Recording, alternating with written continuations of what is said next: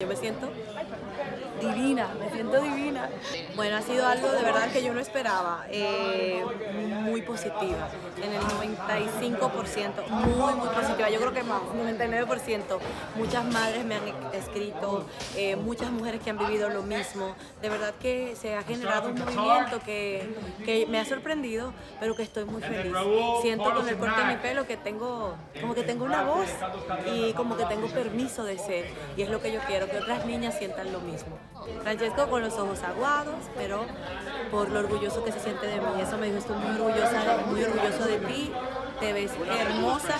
Y se la pasa, la tarde entera se pasó tocando el cabello. Yo dije, baby, por favor, ya no me toques más el cabello. Desde Miami, Mezcal Entertainment.